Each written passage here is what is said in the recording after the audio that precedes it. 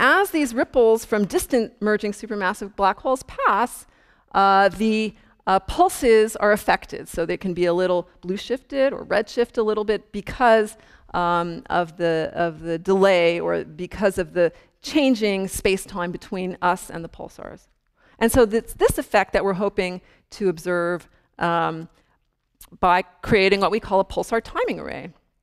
The idea is we're going to have radio, we already have this in place, many radio telescopes around the Earth observing pulsars regularly, typically once a month.